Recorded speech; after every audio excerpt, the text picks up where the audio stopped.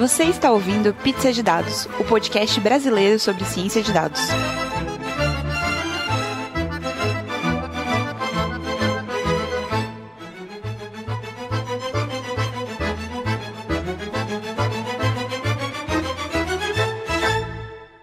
Bem-vindos, pessoal. Esse é mais um Pizza de Dados. Eu sou a Letícia. Eu sou o Abel. Eu sou o Felipe. Eu sou a Jéssica. E eu sou o Gustavo. Estamos aqui hoje para falar de Júlia, e não é uma pessoa, vamos falar da linguagem Júlia. Mas, pausa para os recadinhos.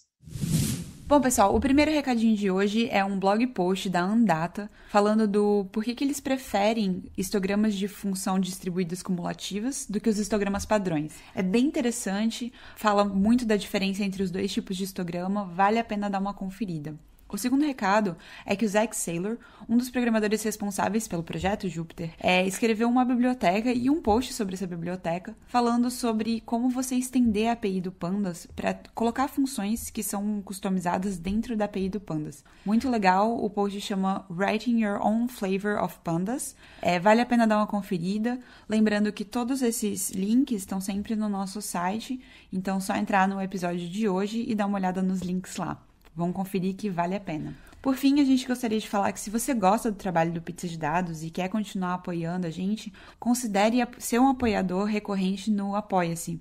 É, a plataforma é apoia.c barra pizza de dados e você pode contribuir com qualquer valor, de dois reais até pagar uma pizza inteira pra gente todo mês. É, então, se você gosta do nosso trabalho, quer garantir que a gente continue fazendo e com muita qualidade, considere se tornar um apoiador. Por último, agradecer, como sempre, o Data Bootcamp, o nosso parceiro de longa data aí. É, se você quer aprender ciência de dados e quer aprender na prática com professores de excelente qualidade, considere participar dos cursos que estão acontecendo por todo o Brasil. Em junho agora, o Data Bootcamp vai estar em Brasília para o curso de Introdução à Ciência de Dados, chamado Data Science para Todos. Em agosto, vão ter dois cursos cursos simultâneos chamado Inteligência Artificial na Prática, acontecendo no Rio de Janeiro e em Pinheiros, em São Paulo. Então, pessoal de Brasília, Rio e São Paulo, fiquem ligados e participem porque vale a pena. E se você ouviu o, sobre os cursos aqui no Pizza de Dados, fala lá para os professores para a gente ter aquela moralzinha.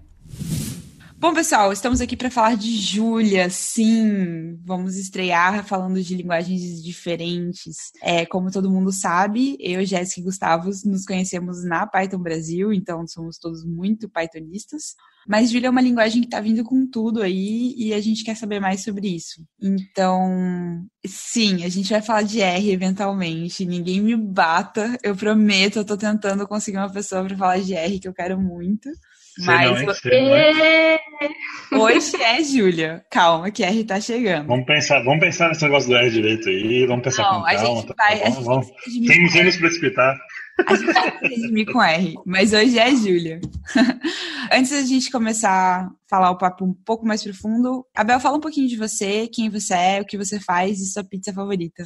Olá, todo mundo. Eu sou Abel Siqueira, eu sou professor na Universidade Federal do Paraná, do Departamento de Matemática. Eu trabalho com Júlia há algum tempo, há uns quatro anos. Não sou computeiro, é minha linguagem principal. Antes disso, era MATLAB, é, para quem conhece. Eu é, e minha, minha, pizza atual favorita é uma que tem calabresa moída, mas o nome dela é especial, então, literalmente, especial. Angela Bassa falou a mesma coisa, pizza de calabresa moída. Então, estamos, estamos aí mantendo. A gente tem que fazer uma lista de todas as pizzas favoritas do pizza. É, dependendo do estado, chama calabresa ralada. Felipe, fala agora de você um pouquinho, quem você é, o que você faz e sua pizza favorita. Bom, pessoal, meu nome é Felipe, eu trabalho atualmente com precificação e cálculo de risco de mercado no BNDES. Sou engenheiro de computação de formação, fiz um mestrado em economia. Uso o Julia desde 2015, eu acho que mais ou menos na época do Abel. Então, aí, Abel, a partir do próximo ano a gente tem capacidade de se candidatar para todos os empregos que exigem cinco anos de experiência de julho. E a minha é, pizza favorita é a napolitana. Qual que é a napolitana? Eu não lembro. É, ó, queijo e tomate. queijo e tomate? Eu não Muito outro nome? Ué, Eu acho que tem um país na Europa que diz que tem uma lei dizendo que a única pizza que existe, na verdade, é a napolitana. É verdade, é verdade. Bom, está, está, estou muito confusa, porque eu conheço ela como a tradicional, se eu não me engano. Ou não sei. É, a gente, aqui, lá em Brasília a gente chama de molho de tomate. É marguerita sem manjericão. É, marguerita sem manjericão. Pode ser. Ó, mas da napolitana eu gosto mais de sorvete. Oh, não. Qual é? Não dá nem pra te defender, Gustavo. Me ajuda aí. Mas e aí, pessoal, vamos falar de Júlia. Eu dei uma olhada na internet e vi que a linguagem é relativamente nova, né? Foi criada em 2012. Eu tenho visto cada vez mais pessoas falando de Júlia, né? Eu tô no grupo de Júlia Brasil há algum tempo no Telegram. E eu tenho visto mais pessoas movimentando, né, de, de um tempo pra cá. Como é que tá a linguagem hoje? Como é que, como é que tá funcionando isso? Como é que tá funcionando essa comunidade? Bom, pode ser. É, o que acontece? No ano passado, na época do JuliaCon, que foi em agosto, foi lançada a versão 1.0 da linguagem. Então, diria assim que essa é a melhor época de conhecer a linguagem, dado que ela foi estabilizada. Antes disso, você tinha que pagar o preço por qualquer alteração que quebrasse o seu código. Então, manter é, entre uma versão e outra o seu código era um pouco complicado. A língua 12, em 2012 foi a versão 0.1. Então, de lá para cá mexeu muita coisa e só agora realmente estabilizou para uma versão 0.0. E a comunidade, assim, o número de pacotes tem crescido. É, o que, que eu posso falar? Nessa última versão, o compilador ficou relativamente mais rápido. É isso. É bem o que o Felipe falou mesmo. Se você parasse para usar ela um ano atrás, você provavelmente ia, ia, ter que mudar seu código em menos de seis meses, mas agora está na versão 1.1, a versão 1.2 já está já tá quase saindo, está bem estável now, eles estão mudando a maneira de, de, registrar pacotes, então a maior parte dos pacotes está acompanhando a versão 1.0 também, tem muita coisa pronta e, e já bastante estabelecida também. E qual que é a principal vantagem da gente usar Julia sobre R ou sobre Python ou sobre mesmo MATLAB, por exemplo? E você tem opções diferentes para cada linguagem. Então, por exemplo, para R, Python, tem um motivo para você mudar para o Julia. Em particular para o MATLAB, que foi o motivo pelo qual mudei, né?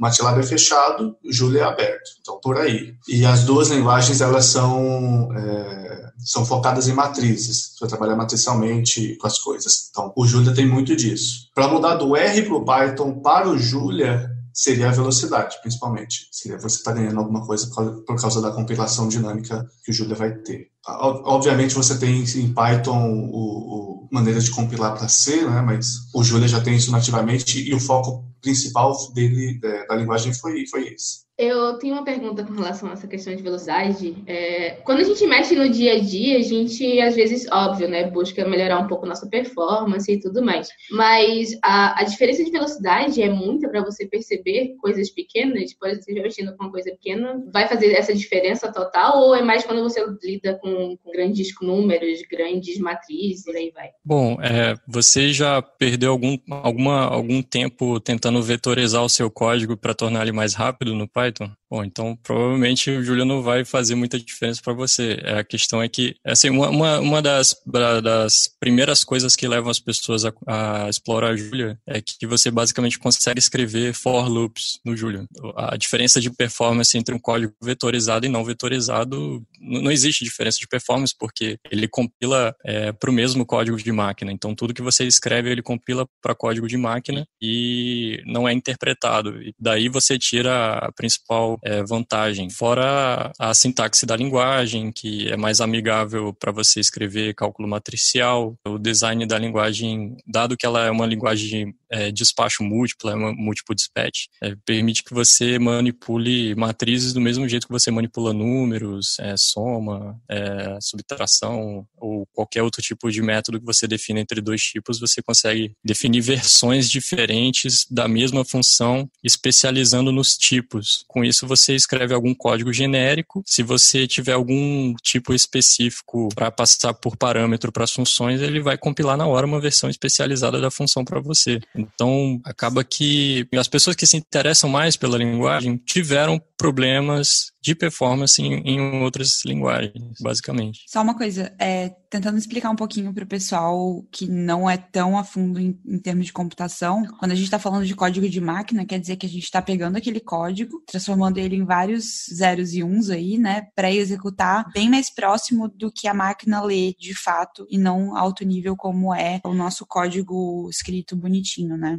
Então, é, me corrijam se eu estiver errada. E outra coisa também é que, como o Felipe estava comentando, se você faz um for, né, que é um loop, que você vai iterando sobre uma lista, isso é muito custoso computacionalmente. Enquanto que, por exemplo, multiplicações de matrizes, é, trabalhar de forma vetorial, que então com, com a lista em si, vamos dizer assim, é muito mais otimizado. Então, só contextualizando aí para quem não estava entendendo muito bem o contexto. Desculpa, Abel. É, é, só voltando no ponto da, que a Jéssica perguntou se no dia a dia, no básico, você vai sentir diferença. O Júlia tem um problema, é, uma das desvantagens é que ele compila na hora. Então, se você abre o Júlia agora e fala assim, deixa eu rodar um, fazer um programa e, e, compilar ele agora e rodar, você vai sentir uma, uma lentidão porque está compilando tudo para rodar a primeira vez. Então, se você quer, ah, deixa eu só abrir aqui, fazer um, um código, vou fechar e vou embora. E vai, você vai sofrer, digamos assim, porque se eu quero só fazer um gráfico, eu perco um minuto para poder abrir o programa, o pacote que faz o gráfico. Então, nesse sentido, você sente o contrário, você gasta mais tempo com Julia. Mas no, a longo prazo, né, se você vai fazer algum código e você vai trabalhar por algumas horas, você faz isso no começo e aí na hora de realmente rodar coisas que levariam minutos, eles levam, levam segundos agora, por exemplo. Entendi. Eu tava olhando, o Jazz, é, num gráfico, tem, no site do Julia tem um gráfico é, de comparação de velocidades. E é muito impressionante, assim, porque apesar de Julia ter um interpretador é, em time, como o Bel tava comentando, que você consegue fazer iterativamente as contas e os cálculos, como Python e R, é, os níveis de velocidade que Julia atinge comparado com outras linguagens, chega perto de linguagens estaticamente compiladas, né? Então, como, e muito mais complexas, como Go e Rust. Então, é, é, para mim isso foi muito impressionante ver, porque ela é tão fácil quanto, no sentido de você poder interagir com a linguagem e escrever nível Python R, mas os, o, os testes de velocidade com, com, muita coisa, né, com muito dado sendo, sendo analisado, chega perto de linguagens que são muito mais complexas e muito mais difíceis. E outra coisa é. também que eu vi que é bem legal é que você consegue chamar código C e Fortran nativo, sem nenhum tipo de biblioteca. Então, para quem trabalha com código legado ou um código que precisa né, de outros códigos também, isso é uma boa vantagem. É, só um, um detalhe, o, o Julia ele é estaticamente compilado, só que em tempo de execução. Então, é diferente do, do Python, do R, em que a cada linha de código ele vê uma string converte para a máquina, o Julia ele, ele pega o, o, seu código que você digitou ali na hora do inter, no, no, na linha de comando e a partir dali ele compila para código de máquina. Então, ele é uma linguagem digamos assim, compilada estaticamente, mas ele faz essa compilação durante o seu uso, né? Digamos assim. A impressão que eu tive foi que Julia parece uma linguagem que vale mais a pena para quando você vai criar uma coisa nova, que não tem, digamos assim, uma biblioteca mais estabelecida. Até, tipo assim, eu acho que o pessoal no meio acadêmico acaba usando muito, né? Então, se você vai criar, tipo, implementar um algoritmo novo, fazendo um estudo que é meio que é, é, escrever um artigo, é, você não quer ficar muito tempo vetorizando, quem você falou, otimizando, você não tem tempo para ficar otimizando o seu código. Você faz um Julia que na primeira já vai bem mais rápido, de primeira, assim, já vai bem mais rápido, você foca mais nos conceitos do que no código em si. Enquanto que em outras linguagens você está mais preocupado em pegar coisas já tão pronta, ou compartilhar mais coisas, ou criar coisas para outras pessoas usarem. E aí, nesse caso, se você for compartilhar, você vai pegar as coisas prontas, elas já estão otimizadas, é a diferença de fazer um for e usar o pandas, por exemplo, para quem está acostumado no Python, que nem a gente. Então, você usar as funções do, e os métodos do pandas é muito mais rápido do que usar um for no pandas. E aí, a gente já pega o pandas, que é todo otimizado o código, chama em C, sei lá, se eu não me engano, faço uma besteira. E no caso, se você vai fazer uma, um, uma coisa nova, sei lá, implementar um algoritmo novo, você vem pro lado acadêmico e tal, você vai querer fazer um negócio novo, por exemplo, escrever um paper, mostrar alguma coisa, você, se você fizer em julho, só, você, em vez de demorar, você consegue fazer em três meses, você consegue fazer o código rodar e já roda muito melhor do que se você fizesse ele em Python nos for e você vai gastar menos tempo, porque também você depois não vai criar uma biblioteca e ficar otimizando ela depois inteira. É assim, isso que você está colocando tem a ver com o estágio atual da maturidade da linguagem, que ainda não tem muitas bibliotecas. Mas para mim isso é um efeito bola de neve. Por exemplo, É, quem aqui é expert em C++? Se você quiser contribuir para qualquer melhoria no Pandas ou no, NumPy, você tem que saber C++ assim, no detalhe. Enquanto que qualquer pessoa pode contribuir para qualquer pacote mais básico que seja na linguagem Julia, incluindo pró o próprio compilador da linguagem, que é escrito em Julia, assim, boa parte dele. Então, no fundo, ao longo prazo, você tem um efeito bola de neve de facilidade das pessoas conseguirem contribuir, entendeu? Você acabou de convencer, vamos todo mundo pra Júlia. Né? É porque essa, é, é, eu fui pensando nisso pra caramba. Tipo, pô, meu sonho era contribuir com o Scikit, com Pandas, e, mas é mó complicado entender o que, que tá escrito lá. E Júlia, se fosse em Júlia, então a gente tava mandando ver. Pô, bota pra boa parte do Júlia. Cara, eu comecei a ver as coisas pra, pra esse episódio, assim, e tudo que eu vi me impressionou bastante, assim pela facilidade, pela velocidade e, e o que eu tenho visto de fato é que as pessoas estão falando mais, assim, a minha sensação, né? É que as pessoas estão estão falando mais sobre isso. Mas e vocês? Como que vocês caíram? Como que vocês escolheram Júlia? Qual foi o caminho que levou vocês para isso? vou, vou pedir para Abel falar que ele tá bem quietinho. Eu comecei essencialmente porque, pelo que você tinha falado antes, que o Julia consegue pegar código de Fortran direto. Então, quando eu estava fazendo o doutorado, tinha um pacote chamado Qtest, que é o pacote principal de, de teste de programação não linear, que é o que eu trabalho. E aí a gente tinha que compilar esse código e levava meia hora para poder entender o que funcionava. Eu já cheguei a fazer post para, tipo, como instalar, eu fiz vídeo no YouTube de como instalar isso para outras pessoas usarem, porque era um negócio difícil. Aí, durante o final do doutorado, me falaram do Julia e aí eu fui atrás é, quando eu entrei na UFPR, que foi final de 2014, começo de 2015. É, peguei o, o Qtest e falei, deixa eu tentar compilar ele para poder acessar no, no Julia e funcionou surpreendentemente bem, porque você não espera que vai funcionar e ele funciona. E coloquei já no, no GitHub e o, um dos desenvolvedores do Qtest, ele viu e falou assim, eu estou querendo fazer a mesma coisa. E, e aí ele me chamou, a gente está trabalhando junto nisso desde então, otimização não linear em Julia. É, e foi assim que eu caí. Felipe, e você, como que você foi parar em Julia?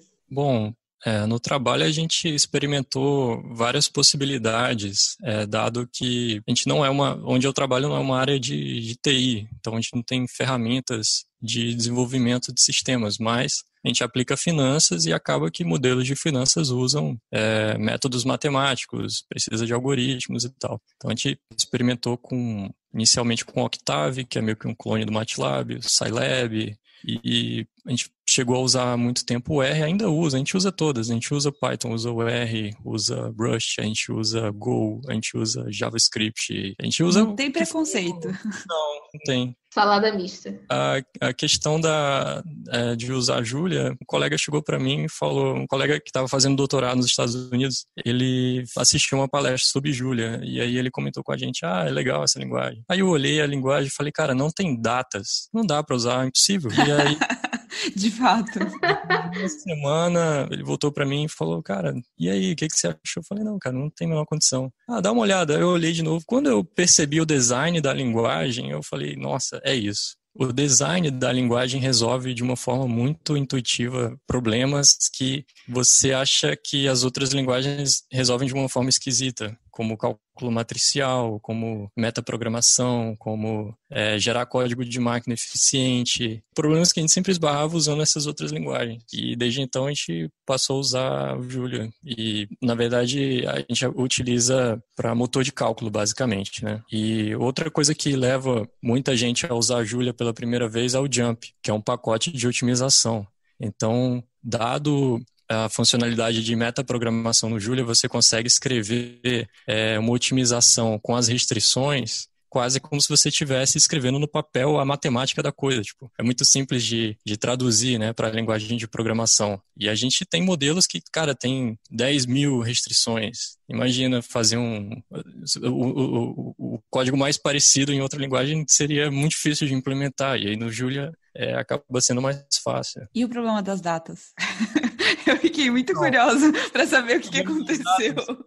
Tem um rapaz, o Jacob Quinn, que eu, que eu conheci quando eu fui no, no Julia com, em uma oportunidade, ele já já estava trabalhando no pacote de dates do Julia e nessa época que eu comecei a usar, estava na versão do Julia de desenvolvimento, que era a versão anterior a 0.4. E por causa disso foi possível passar a usar, assim, basicamente. Explica um pouquinho pra gente para os nossos ouvintes que são, a gente tem gente que realmente não é da programação, o que que é a metaprogramação assim, o que que isso traz de benefício para uma pessoa que tem pouco conhecimento de computação? Se, por favor. Basicamente, a metaprogramação permite que você estenda a linguagem. Você pode definir a sua linguagem dentro do Julia. Você pode definir as suas palavras-chave, você pode definir. É, o, a metaprogramação é uma função que recebe uma expressão e retorna uma expressão, ou seja, ele recebe é, um código e retorna um código é, de volta. Então você consegue gerar código a partir de código, basicamente. Qual o uso mais comum disso, né? Se você tem um código repetitivo, é, você consegue gerar esse código repetitivo numa sintaxe simples que você define ali na hora. Muito obrigada. tá, uma das coisas assim que eu vejo que existe muita treta entre o Python e o R é, são os pacotes de visualização, né? Muita gente que vem do R reclama que o Python não tem pacotes de visualização tão bons quanto os do R. E as pessoas do Python falam que não, que tem, e tem, tem sempre essa, essa discussão. Como é que é o cenário de visualização de dados em Julia? Como é que já tem bibliotecas fortes? Porque isso é um, é um ponto fundamental, né, para as pessoas de fato usarem a linguagem no dia a dia, no caso, não só para otimização. Então, se você é muito, como é que eu vou dizer, se você for depender muito de pacotes no Julia, provavelmente você vai ter uma experiência ruim. É, a gente tenta, pelo menos no, no que eu escrevo, eu tento manter as dependências no mínimo, dado que é uma linguagem nova e as bibliotecas estão estabilizando ainda. Inclusive, eu estou contribuindo com bibliotecas, né? Então, as bibliotecas que eu contribuo, eu tento manter as dependências no mínimo e quebrar o mínimo possível para que as pessoas possam utilizar e seguir em frente. Agora, dito isso, é muito fácil no Julia você chamar bibliotecas de outras linguagens. Você consegue escrever um código em, chamando uma biblioteca em Python quase como se você estivesse escrevendo Python dentro do Julia. Então, as bibliotecas de plot atualmente, elas são baseadas nisso. É, tem uma biblioteca chama Plots, que ela, ela define uma, um conjunto de funções padronizado e ao utilizar essa biblioteca você pode escolher qual back-end de plot que você quer utilizar. E aí por trás dos panos ele chama o PyPlot, por exemplo, ou chama o GR, que é uma biblioteca que eu acho muito bacana, que é escrita em C e C++, e outras linguagens. Aliás, tem uma, a minha favorita na verdade é Unicode Plots, que é uma biblioteca que plota no terminal os gráficos. Eu acho genial assim a ideia, eu achei muito bacana. É, não é para dizer que tipo a gente não tem pacote, né? a gente no Julia, né? não é que eu faça parte, é para dizer que não tem pacote. Mas o problema é que, por exemplo, o pacote de plots foi criado há uns 4, 5 anos e aí com a mudança ele vai sendo retalhado. Eles têm que agora pegar e fazer, não, tem que mudar porque mudou muito da linguagem. Então tem o um pacote novo que eles estão fazendo, que é Machia, eu não sei como pronuncia, que a priori seria toda a remodelagem do pacote de plots mas é promessa de que vai sair há algum tempo aí. Vamos ver. Essa é uma coisa em relação à comunidade. É, se toda vez que você por exemplo, eu vejo algumas pessoas fazendo isso. É, toda vez que alguém entra no fórum do Julia reclamando que não tem um pacote, a resposta é basicamente: ah, não tem pacote, contribua então. Né? Mais ou menos essa percepção. Mas isso é uma pegada de linguagem muito nova, né? Tipo, o pessoal tá mais aberto a participar de comunidade, contribuir com o código aberto. Então, tipo, tem muito espaço para crescer e, cresce muito rápido também. Então as coisas vão andando muito rápido, manter as coisas atualizadas é, é mais difícil e tudo mais. É, eu vejo isso bastante acontecendo com coisas tipo Go, por exemplo. É, faz parte do processo. É, até porque a primeira versão que pode ser considerada estável foi lançada há pouco tempo, certo? Então ainda existe um, sei lá, quantos anos tem Python, quantos anos tem R. Então tem isso, né, de amadurecimento da comunidade. E no Brasil, assim, como é que tá a comunidade? A gente tem encontros, tem meetups ou a coisa ainda tá pegando tração? A pergunta é, quando vai ser a primeira Julia Com aqui? Ou já foi? Nossa, já é a pressão, tá ligado? Eu já tô assim, tipo... na lata. Eu, sobre sobre o, o Julia com Brasil, ou sei lá como é que a gente vai chamar, Brajúlia, talvez. Sensacional! Quero. É, Eu estava muito disposto a fazer, na verdade. Eu acho que tem gente o suficiente no Brasil para fazer o primeiro, o primeiro Julia com Brasil. Mas, tipo, não sei se vou, vou, serei eu a liderar esse, essa organização. Mas, com certeza estou disposto, se tiver mais gente, me procura lá no Telegram ou qualquer coisa assim. Em relação aos, que, aos eventos que aconteceram, né? tem um evento que é o JuliaCon, que tem todos os anos. Esse é um evento que a quantidade de pessoas oscila ali entre 400 500 pessoas e é o principal evento de julho. Então, ainda é um, um evento pequeno, digamos assim. Eles fizeram três anos no MIT, depois fizeram no, na outra costa em Berkeley e ano passado fizeram é, em Londres. Esse ano vai ser em Baltimore, né, perto de Washington. Então, ainda eu diria que é um evento pequeno para ser o evento principal da, da linguagem. Tem que fazer que nem a Melissa, a professora Melissa de Floripa fez, que na Python Sul do, do ano passado, 2018, é, a palestra dela foi é, Júlia para Pythonistas. Então vai se infiltrando nos outros eventos, assim, ó, tomando espaço. Mas legal. É, às vezes começa com um Julia Day, alguma coisa, ou vamos a brasileirar, dia de Júlia. Então, é, outra coisa que eu queria perguntar é essa questão de, de integração, porque, por exemplo, uma das coisas que todo mundo fala que é o forte do Python é que você pode facilmente integrar com bibliotecas de API, por exemplo, como o Flask ou alguma coisa do tipo, ou mesmo o Django. É, enquanto o R tem o Shiny, né, que também faz esse papel de, de API. O Julia tem isso ou tem previsão de ser isso? Como é que está esse cenário nesse sentido de integração com, né? bom, vocês falaram que ele integra bem com Python também, mas é, tem algo do Julia mesmo ou é só integrações?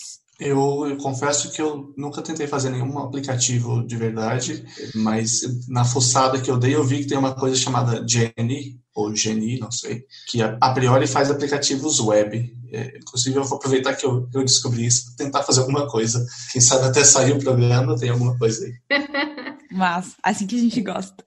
Assim, eu diria que não tem uma, uma alternativa similar ao Shine, no sentido de, de, dashboards automáticos, esse tipo de coisa, não. Mas o que eu vejo a maioria das pessoas usando para API é uma biblioteca, que é a HTTP, que é uma biblioteca de, H, de protocolo HTTP, e você utiliza ela diretamente para publicar APIs REST, né? Em que as pessoas conseguem chamar funções do Julia consultando uma URL, né? Mas realmente, eu diria que não... É, essa biblioteca Jenny, por exemplo, eu acho que foi o primeiro framework de desenvolvimento web que uma determinada pessoa se empenhou em desenvolver, né? Mas acho que não, não tem muito desenvolvimento nessa parte ainda não. Mas uma coisa que eu fiquei curiosa é porque, assim, muito do que eu ouvi falar de Julia, e até na documentação fala, é focado em computação científica, certo? Então, trabalhar com dados matriciais, dados vetoriais, dados que são muito robustos e multidimensionais. Por exemplo, o Pandas já não faz isso tão bem, né? Assim, o Pandas ele é focado no 2D ali, uma coisa mais Excel parecida. Mas ao mesmo tempo, eu vejo uma linguagem muito poderosa. Ela tende a ficar só focada na computação científica ou vocês já veem uma tendência de expandir para outras coisas, coisas além da computação científica? O que, vocês acham? Eu, assim, eu acho que com certeza tudo que você falou de ela tem força nesse aspecto é, é verdade. E eu estou usando também para dar aula, já tem quatro anos. Eu, eu dou aula cálculo numérico, otimização e até introdução a machine learning em Julia. E, tipo, para você programar alguma coisa em Julia que envolva matriz é fantástico. Então, com certeza vai roubar muita gente do MATLAB. O problema, eu acho que, assim, fica num loop entre seria bom se a gente tivesse mais coisa geral que não fosse de computação científica, mas o pessoal que não é de computação científica está esperando essas coisas aparecerem para entrar também. Então fica, fica meio que entre a gente, né? Fica só entre o pessoal que está com computação científica que, que não tem o espaço ainda. O pessoal que do Python, por exemplo, eles precisam de, motiva, de motivação para sair do Python, né? Para poder ir para o Julia. Então acho que é isso que acontece muito. É, tem uma questão de branding, né? Originalmente, quando você entrava no Julia, tinha uma mensagem Fresh Approach to Technical Computing. E eles removeram isso na versão 1.0 de propósito e teve uma mega discussão nos fóruns sobre essa questão de, olha, não vamos dizer que o Julia é específico de, de, de computação técnica, né, numérica, porque também é uma linguagem interessante do ponto de vista geral. É engraçado que é um, é um caminho oposto ao que o Python fez. O Python, ele foi desenvolvido como uma alternativa ao Shell originalmente, assim diria, né? Em que se você pega, por exemplo, o gerenciador de pacotes do, do Linux, do CentOS, do, do Red Hat, ele usa por trás o Python. Então, é uma linguagem ali para auxiliar trabalhos repetitivos do sistema operacional que não tinha nada a ver com computação né, científica, mas é uma linguagem simples de aprender. O pessoal da comunidade científica meio que adotou o Python para dar um outro uso. O Julia é exatamente o oposto, porque veio é, de um pessoal do MIT com todo a justificativa de ser uma linguagem fácil para computação técnica e agora eles estão querendo recomendar o uso também para é, computação em, em geral. Júlia me parece estar fazendo o caminho que o R fez no começo, né? Que, que, a ideia era resolver problemas de estatística e tudo mais, tanto que tem muita biblioteca que tem embasamento em artigo e tudo mais. E aí ele foi ampliando até que saiu o Shine, aconteceu o Shine na comunidade de R, o pessoal sentiu falta e tudo mais. Talvez Júlia siga por esse mesmo caminho, né? De trazer a parte de coisas de web, mas com sensação de mostrar gráficos, mostrar computação técnica e tudo mais. Fica aí o questionamento. É porque eu fiquei pensando assim, né? Eu dei uma olhada em Go, dei uma olhada em Rust. São linguagens muito complexas de você começar. Não é uma coisa tão intuitiva quanto é Python, por exemplo. Eu, eu vim do MATLAB, aí eu fui pro Python, e aí agora eu estou flertando com linguagens mais complexas, que para mim são mais complexas, como Rush e Go. E a sensação que eu tenho é que se você tem uma linguagem que pega tudo de bom de Python, por exemplo, que é a facilidade de você escrever código, com a velocidade e a otimização de códigos que são muito mais difíceis de serem escritos, como Rush, me parece que tem um potencial para muito muito mais coisa, né? Então, talvez se, é, como sair desse círculo vicioso, talvez seja a pergunta certa. E aí, é legal a gente estar tá trazendo isso para o podcast também, porque tem pessoas que vão ouvir, quem sabe se interessem comecem a mudar esse cenário, pelo menos aqui no Brasil, um pouquinho. É, o pano de fundo do, do Julia é linguagem para alta produtividade, em que com um código é, suficientemente simples e, simples e uma sintaxe simples de aprender, rápida de aprender, você consegue fazer um programa complexo rapidamente. É, Rust já vai para um outro caminho, que é o caminho da correção. Ou seja, o software não pode dar problemas. E assim, sou muito fã do Rush. A gente, eu estou desenvolvendo um aplicativo no trabalho que mistura as coisas. Assim, o Rush para mim é aquela coisa quase hardware né? Não pode dar erro, funciona perfeitamente o tempo inteiro, nunca vai dar pau, nunca vai capotar, digamos assim, em produção. Já o Julia é um motor de cálculo e é aquela coisa que você tem que prototipar rápido e colocar em produção. Então, a, a, o, digamos, o pano de fundo do Julia é essa questão da produtividade. Muito legal. Eu estou Aí, gostando muito. Vamos todo mundo pro Júlio, então vamos passar todos os pacotes pro Júlio vamos começar só a usar a Júlia agora. Vocês me conheceram já. Vocês me convenceram. Não, e o melhor é que você pode chamar Python de Júlia e Júlia de Python. E... Não, eu estou aqui pensando como é que eu vou convencer o, o meu arquiteto a deixar a gente colocar a Júlia em produção aqui. entendeu? Quero fazer os modelos tudo, tudo em Julia agora, quero usar Julia. Agora vocês me deixaram agora à vontade. Como é que faz? É, aproveitando e puxando o gancho, é, como é que faz para aprender Julia? Como é que vocês aprenderam Julia? Tem livro, tem artigo, ainda mais agora que saiu a versão 1.0 e tal, tá bom de começar agora, né? Vocês falaram. De graça, pago? O que vocês recomendam? A documentação oficial ela é, ela é legal, mas de novo, é documentação, né? Então é chato, talvez. É, ninguém gosta. É, tem um YouTube oficial também. E assim, se você nunca programou antes, eu não sei. Não tenho noção nenhuma se, se tem algum material, tipo, aprenda por aqui. É... Tem. Ah, eu descobri para esse episódio, tem o livro Think Julia, Think que Julia. é baseado no Think Python, que é o livro para você aprender programação usando Python. Então ele ensina Python também, mas ele ensina como para pessoas que não têm programação. E aí tem o Think Julia que é aberto, não tem que comprar nem nada. E, e é bem legal. O Think Python tem versão em português, que é o Pense Python. O Julia já tem versão em português? O Pense Julia? Eu imagino. que não, bora traduzir, bora traduzir. Acho que não, Jess. Mas é uma, uma ideia legal, porque ele acho que ele tá com Creative Commons de licença é, é bem legal, assim. E ele, ele fala no começo, assim, que a ideia do Think Julia é a mesma do Think Python, de ensinar computação para alguém que nunca viu, mas com Julia. Olha, então tá. Fica aí a dica para quem quiser traduzir alguma coisa. Aprender e traduzir. É. Tem um grupo no, no GitHub de Julia Brasil e um, um rapaz, acho que é da, até da, da Federal do Pará, se não me engano, ele, ele tem um repositório de um tutorial muito bom e várias pessoas contribuíram da linguagem. De repente, depois a gente pode, eu posso passar o link aí. Lembrando para todo mundo que está escutando a gente e que não sabe, todos os links, tudo que a gente comenta aqui no episódio fica disponível no nosso site. Então você entra lá, podcast.pizzadedados.com e a gente deixa todos os links. Então todo o episódio é também um grande guia para o tópico que a gente está tá trabalhando. Outra dica também que tem a palestra gravada da Melissa, chamada Júlia para Pythonistas, que foi feita na Python Sul de 2018. Então também vou deixar o link lá.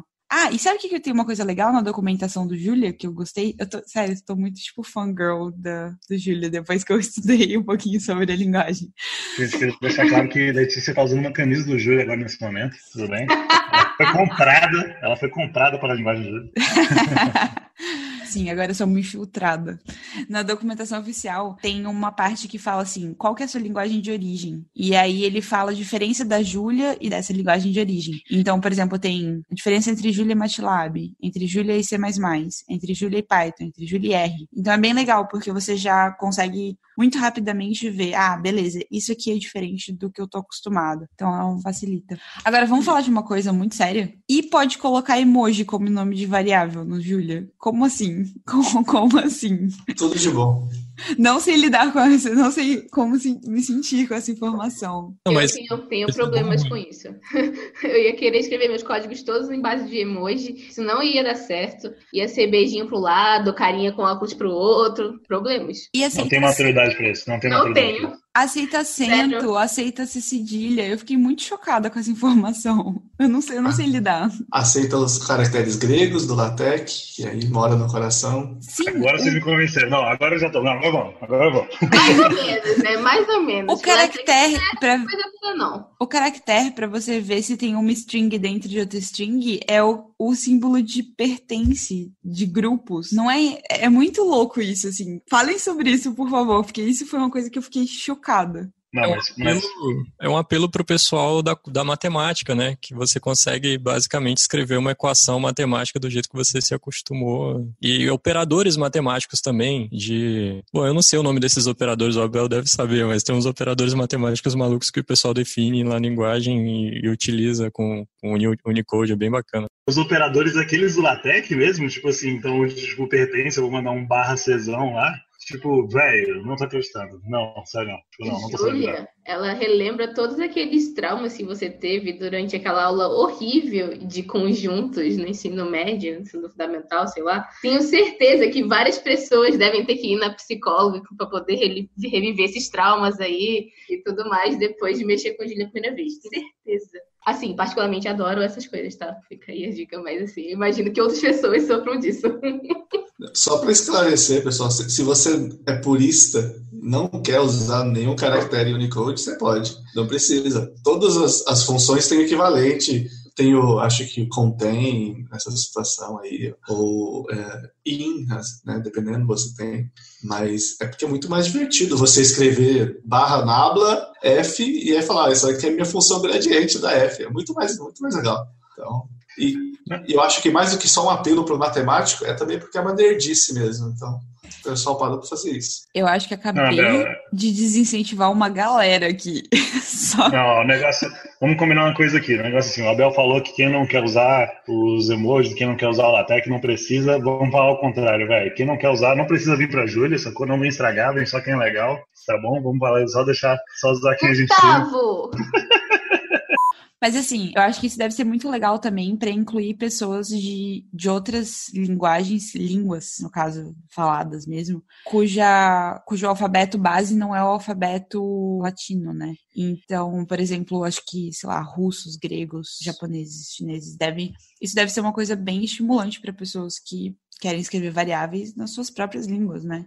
Então, talvez isso seja até um ponto positivo grande para a linguagem se espalhar de maneira mais. Agora, imagina você manter uma biblioteca feita, sei lá, por um chinês. É isso que eu ia falar.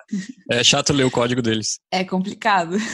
Mas eles escrevem em chinês mesmo? Em mandarim, no, nos códigos? Do que eu vi só no README mesmo, não no fonte. Ah, tá. Eu já fiquei pensando, nossa, imagina que coisa. E eu sei que vocês falaram que não tem muitos pacotes estáveis e tal, mas para quem quiser começar a dar uma olhada em Julia, o que, que vocês recomendam dar de olhada, além da linguagem padrão, assim? Que, que, que pacotes são mais, mais estáveis, mais legais, mais interessantes? Tem algumas áreas que você pode ir sossegado e você vai viver bem para sempre lá. É, como o Felipe falou, se você for trabalhar com programação matemática, e aí pesquisa operacional, programação linear inteira, combinatória, é toda essa área de que eles chamam de ORMS lá fora, né, de é, ciências de administração, ciências administrativas. Tem o JUMP e interface com vários solvers pronto. Então, linguagem de modelagem matemática é essencialmente estável, você pode usar à vontade. Equações diferenciais tem todo um, um grupo lá do DIFIEC, que eu não sei nem o nome, se é só DIFIEC, o Júlio DIFIEC, mas é fácil de achar. E um outro pacote, o Flex, que é para você trabalhar com machine learning. Eu acho que o Flex, em particular, é redes neurais e é uma abstração 100% em Julia, e, e, usando justamente essas ferramentas de diferenciação automática presentes lá. Bom, é, vou falar de alguns pacotes. Tem o, acho que, como eu falei anteriormente, o Jump, para mim é o que as pessoas, a maioria das pessoas que eu conheço, principalmente no mundo acadêmico, é a primeira primeiro pacote que levam as pessoas a conhecer Julia. Uma coisa que eu acabo utilizando bastante são pacotes de diferenciação automática. Então tem o Forward Diff, que usa uma técnica de dual numbers, e tem um outro pacote que chama Zigot, que esse está em fase experimental, mas assim ele mostra o potencial da linguagem, que é o seguinte: Imagina que você define uma função e você quer o gradiente dela, o que é uma derivada dela. Você entrega a função, ele te devolve a função, outra função, uma função não uma representação da função. Ele te, é, por exemplo, se a derivada de uma função for uma constante, ele te traz uma constante como derivada. Isso ele tá de zoeira. Isso só usando as técnicas de metaprogramação do, da, da linguagem. E esse tipo de coisa, o pessoal chama, ah, isso aí é técnica de diferenciação automática da próxima geração, né? É next generation. É, ah, isso é uma técnica muito interessante. Ave Maria, isso é genial! Nossa Senhora! E do que eu preciso utilizar, eu tento, tento colocar como código aberto, né? Então eu contribuo com alguns pacotes. Tem o, pacote de ler escrever arquivo Excel, eu que escrevi. O pacote é, driver de banco de dados eu fiz o, o pro Oracle e pro MongoDB, são, são, são meus pacotes. Tem alguns pacotes de, de finanças que por enquanto ainda está num estágio é, básico, tem uma, tem uma comunidade que chama Julia Finance, que um cara lá que mora até na China criou a, organização e aí eu contribuo com ela, mas é, aplicações de finanças eu tento contribuir, tem um pacote de, o primeiro pacote que eu, que eu escrevi foi de cálculo de dias úteis entre datas e ele dá uma solução do cálculo, que é um cálculo que eu repito muitas milhares, milhões de vezes, é, de curvas de juros, é, aí, aí são coisas da, da do, do que eu uso mais no trabalho, né, basicamente. Achei chique. Ainda bem que vocês falaram que quase não tinha pacote.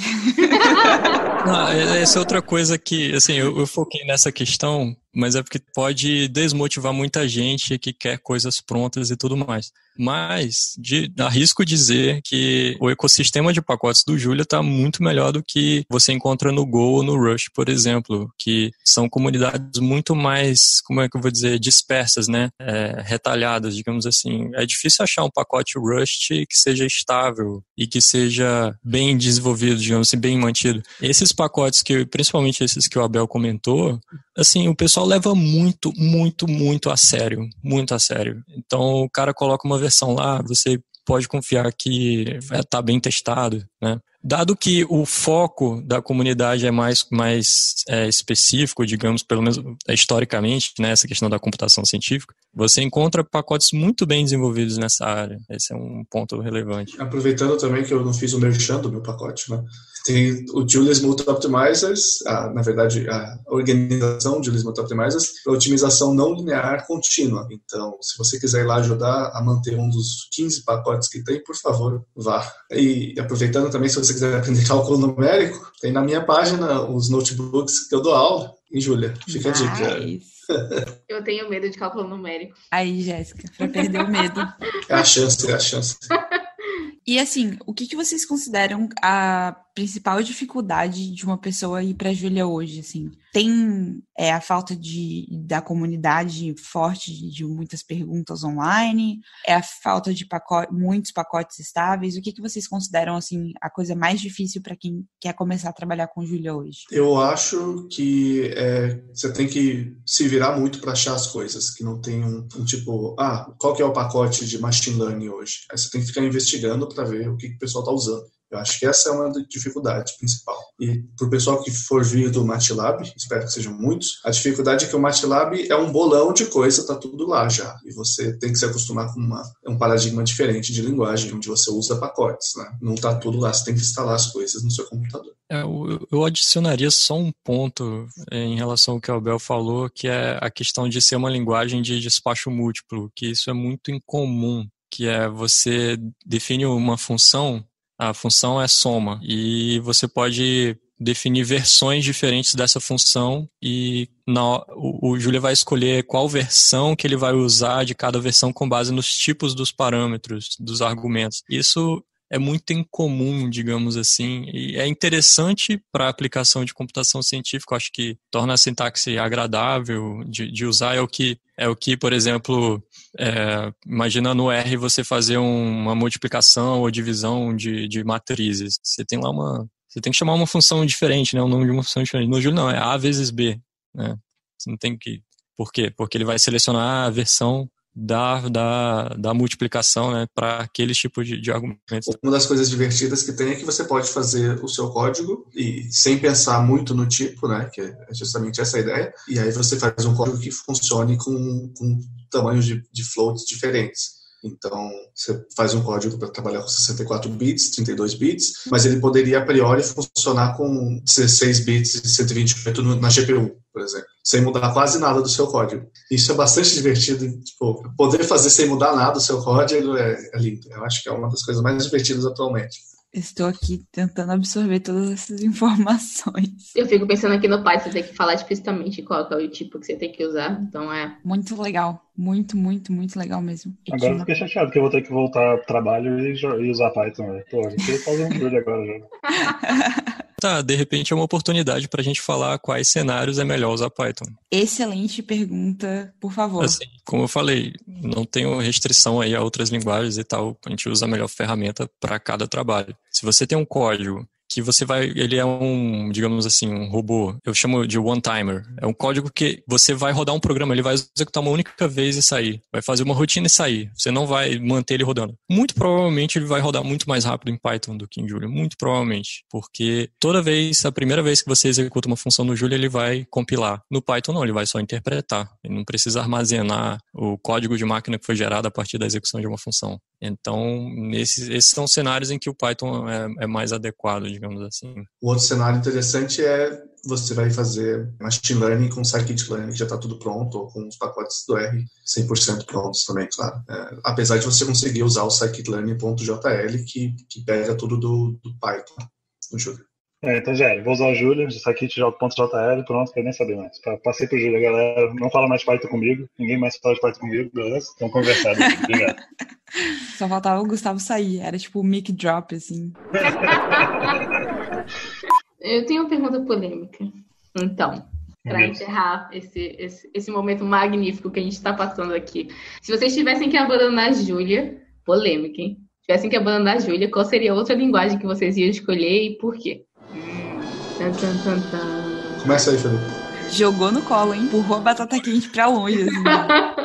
Eu sou meio suspeito para falar, assim, eu sou um fã das linguagens. Então, é, uma hora eu tô lendo sobre. Assim, Júlia, para mim, é, é, uma linguagem que eu escrevo muito todos os dias. É, para mim, essa é a questão. Eu escrevo muito Júlia todos os dias. Mas estava lendo, a semana passada, um livro de C, outra vez estava lendo sobre o Rush, é, já testei Go, já testei Python, já testei o R, MATLAB, Octave, Scilab e gosto, gosto de todas, cara. Todo, cada uma tem uma, uma, por exemplo, adoro no Python é, a, como ele é eficiente na, em relação à memória, é, com, como é leve um processo no Python. No Julia ele consome muito mais memória, por exemplo, da máquina para você rodar. Então, não sei, o que me atraiu mais em Julia foi o design da linguagem E se eu não, não tivesse essa opção, provavelmente eu estaria usando o R e o Python, uma mistura dos dois é, com todos os quirks de cada um, né, com as suas especificidades de cada um e provavelmente não conseguiria resolver determinados problemas que eu tenho no, no trabalho. Esse é um ponto. Foi, o que me levou para o Júlio foi uma necessidade é, em rodar rápido de, é, processamento em, em, grande volume de dados. E eu realmente só consegui porque anteriormente qual era a solução que eu estava vislumbrando? Não, eu vou usar o R e vou escrever o código que é lento em C++.